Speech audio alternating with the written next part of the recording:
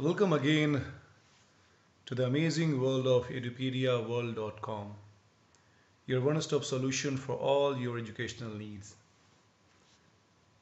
Now moving ahead in order to understand marketing today we will be discussing marketing myopia, a concept given by Mr. Theodore Levitt, one of the most influential marketing gurus of the last century. Now, what exactly is marketing myopia?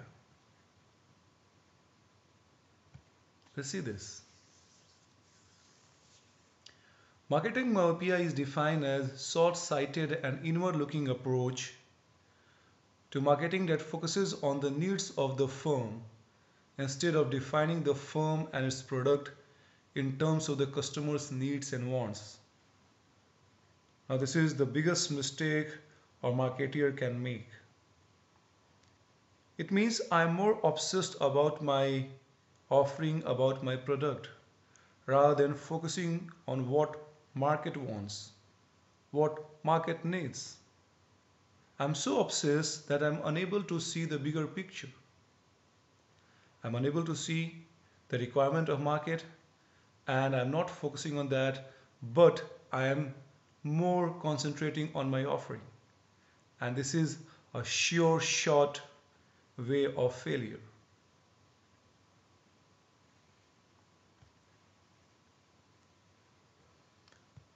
In order to explain this, Levitt cites railroads and Hollywood as examples of industries that have been and are now endangering their futures by improperly defining their purposes. The problem with this industry and other industries who are suffering from this disease is they were product oriented instead of customer oriented. They have lost the touch of the market. They are so engrossed in their product, in their service, that they are unable to see what exactly is happening around them. And that's a harakiri, that's a suicide.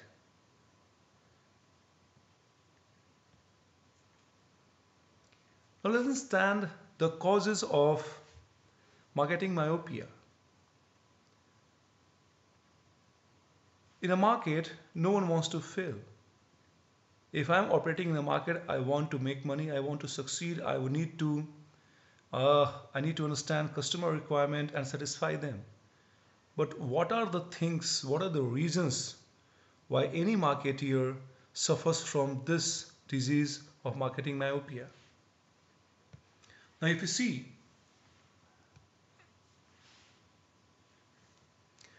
company thinks its growth is guaranteed by expanding population. Company feels if the population is growing, then there is no need of taking care of other nuances. Population, growth of population is a sure shot guarantee of the success of my offering, which is not true, which is far from the truth. The second is believe there is no competitive substitutes. You are not operating in a monopoly market. There are substitutes which are as good as you are or better than you.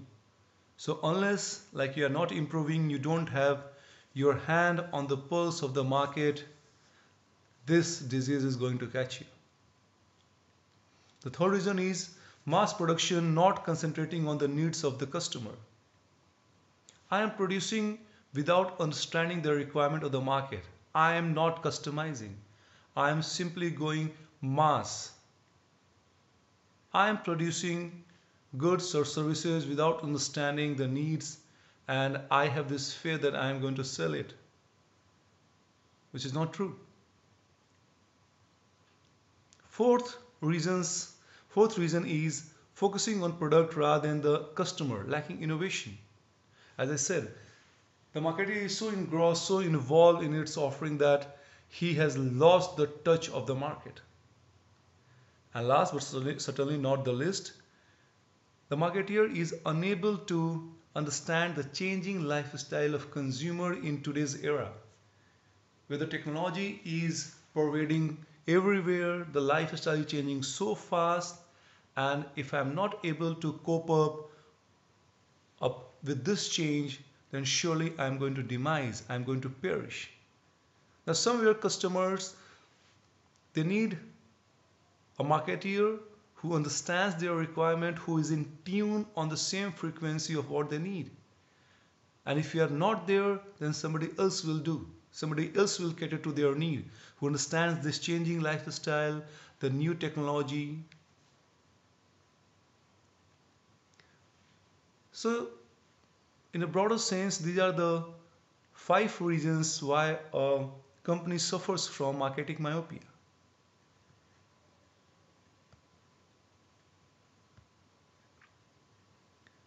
To make it clear, we'll consider examples.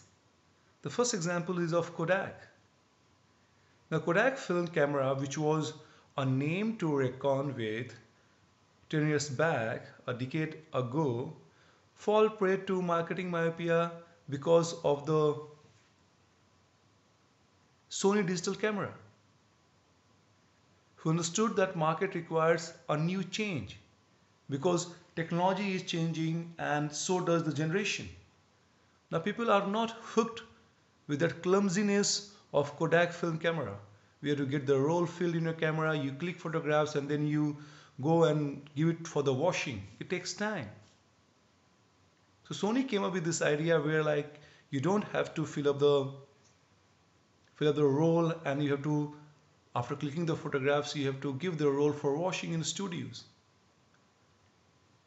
So Kodak died and Sony was a rage. The reason being Kodak could not understand the requirement of the new market. When I say new market, I mean the market which is changing with the technology. We'll take the second example of Sony. Now Sony Walkman, Sony is pioneer in this in this industry. It was a huge success. But when Apple introduced the iPod, Sony Walkman was a thing of past because of other value additions, because of latest technology, market welcomed Apple iPod. Sony was understanding that as it is the number one in this industry, nobody can beat. But because of the changes of technology, the companies, that is Apple, incorporated those changes and came out and introduced iPod to the market, which was welcomed by open arms. And an era of Sony Walkman ended. Now what could be the solution? What could be solution to avoid this disease? The first one is solution-centric focus. My product is purchased by the market because I am providing a solution to the problem. If I'm not providing the solution, the market is not going to appreciate that. If I am over there to sell my product only what I am manufacturing, the market is not going to buy it. It's going to refuse. You have to sell the solution to the problem. The second would be customer centric. You should, your entire offering should be customer centric. You should be understanding about customers, what they need, what they require, what are the problems they are facing, how I'm going to solve it. So your entire marketing, your entire offering should be should be woven, woven around customer. And the third point we should understand marketing is not only about selling. Selling is a smaller subset of marketing. Marketing is much, much bigger than selling. It involves promotion, it involves marketing research, it involves so other things. So you should be focusing on that. And the most important thing is like aware of substitutes to the industry. As I said in the previous slides, we are not working in isolation. There are other substitutes who are better than me or equally good as I am. So I should be aware that what they are offering and how I can beat them by offering a better service, a better offering to the market. And lastly, disruptive innovation. It means I should be coming up with innovations which is going to disrupt the existing market, the existing technology, the existing equilibrium and bring a change which is more effective, more efficient. And through this, I would be creating a new market and value network. So every time and again, I should be look out for this disruptive innovation.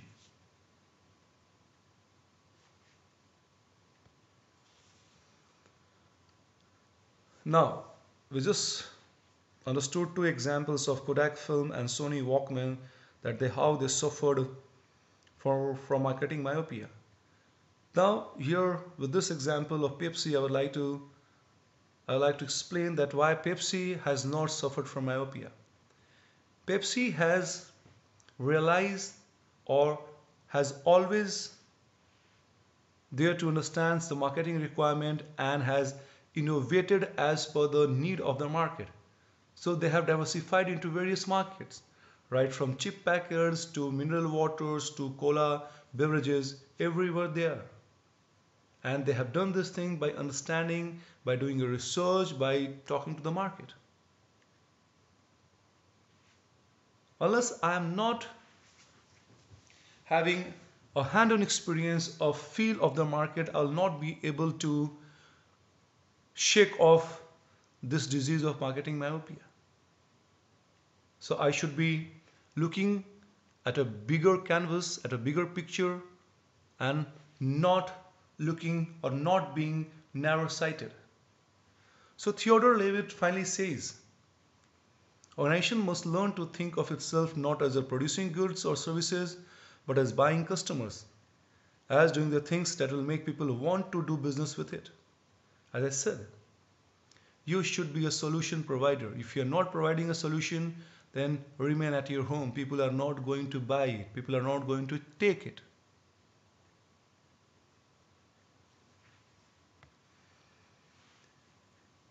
With this, we have come to this concept of marketing myopia and I appreciate your time for being being patient with me and I hope you enjoyed this video. In the next session, we'll talk more about this concept of marketing. Till then, be good and keep learning. Thanking you once again. They have lost the touch of the market. They are so engrossed in their product, in their service that they are unable to see what exactly is happening around them. And that's a harakiri, that's a suicide.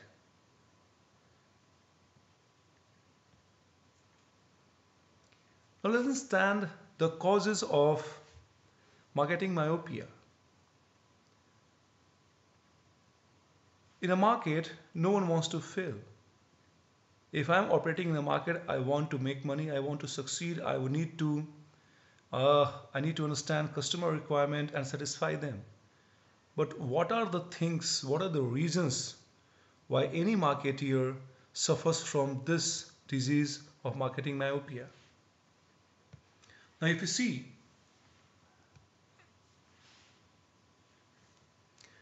company thinks its growth is guaranteed by expanding population.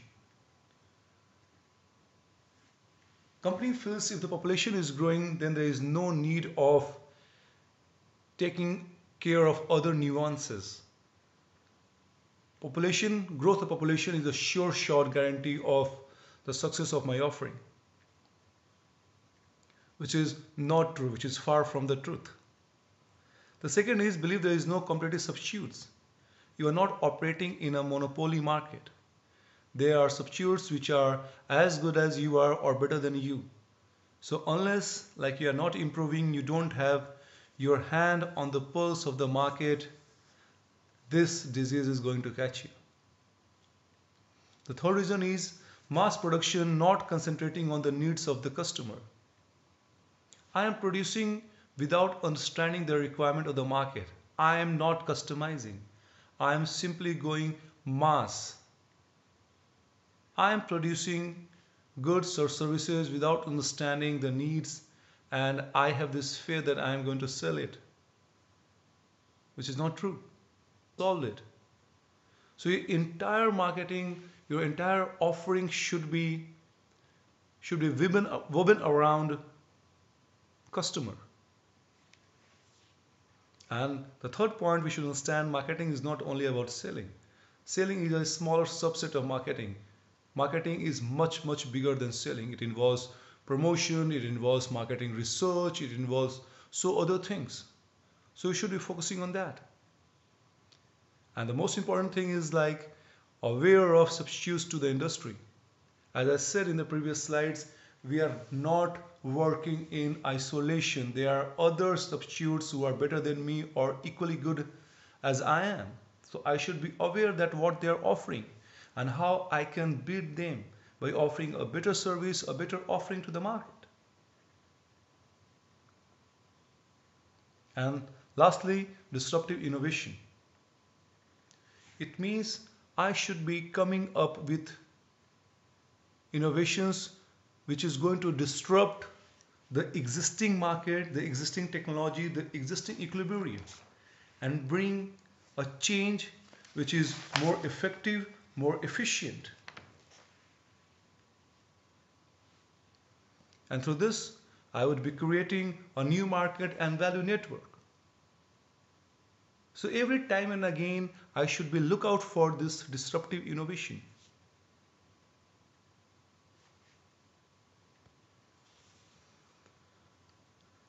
Now, we just understood two examples of Kodak film and Sony Walkman that they how they suffered for, from marketing myopia.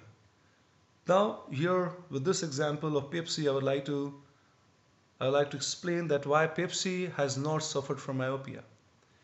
Pepsi has realized or has always there to understand the marketing requirement and has innovated as per the need of the market. So they have diversified into various markets, right from chip packers to Welcome again to the amazing world of edupediaworld.com, your one-stop solution for all your educational needs. Now moving ahead in order to understand marketing today we will be discussing marketing myopia, a concept given by Mr. Theodore Levitt, one of the most influential marketing gurus of the last century. Now, what exactly is marketing myopia? Let's see this. Marketing myopia is defined as short-sighted and inward-looking approach to marketing that focuses on the needs of the firm instead of defining the firm and its product in terms of the customer's needs and wants. Now this is the biggest mistake a marketeer can make. It means I'm more obsessed about my offering, about my product, rather than focusing on what market wants, what market needs. I'm so obsessed that I'm unable to see the bigger picture. I'm unable to see the requirement of market and I'm not focusing on that, but I am more concentrating on my offering. And this is a sure shot way of failure.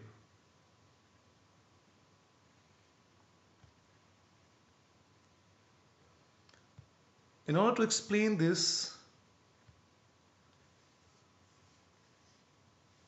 Levitt cites railroads and Hollywood as examples of industries that have been and are now endangering their futures by improperly defining their purposes.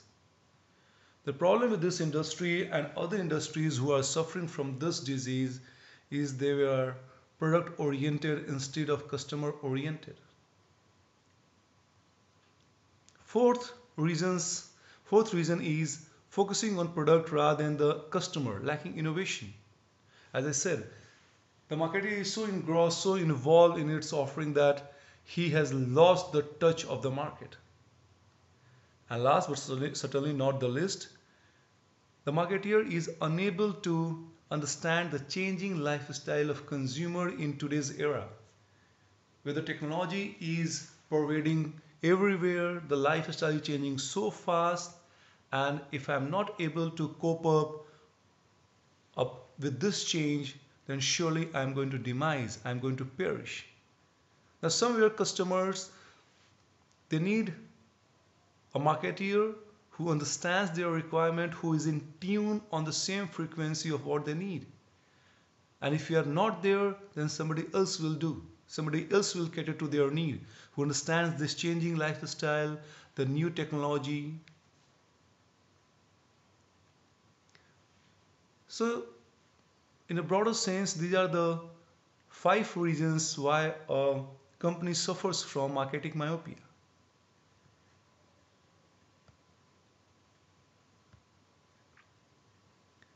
To make it clear, we'll consider examples. The first example is of Kodak.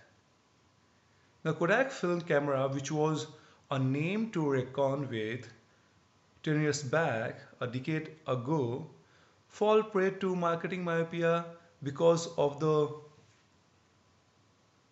Sony digital camera,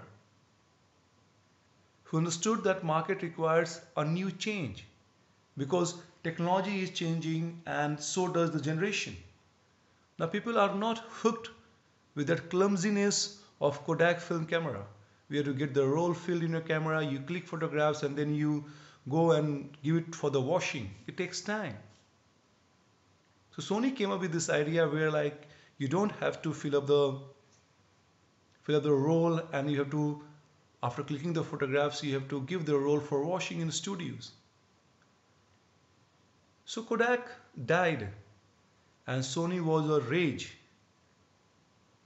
The reason being, Kodak could not understand the requirement of the new market.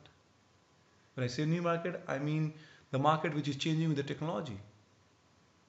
We'll take the second example of Sony.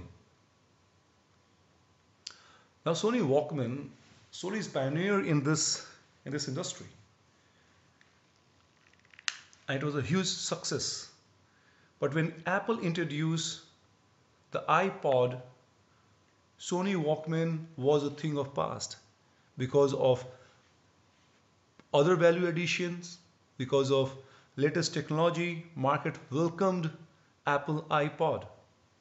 Sony was understanding that as it is the number one in this industry, nobody can beat. But because of the changes of technology the companies that is Apple incorporated those changes and came out and introduced iPod to the market which was welcomed by open arms and an era of Sony Walkman ended. Now what could be the solution? What could be solution to avoid this disease? The first one is solution-centric focus. My product is purchased by the market because I am providing a solution to the problem. If I'm not providing the solution, the market is not going to appreciate that. If I am over there to sell my product only what I am manufacturing, the market is not going to buy it. It's going to refuse. You have to sell the solution to the problem. The second would be customer centric. You should, your entire offering should be customer centric. You should be understanding about customers, what they need, what they require, what are the problems they are facing, how I'm going to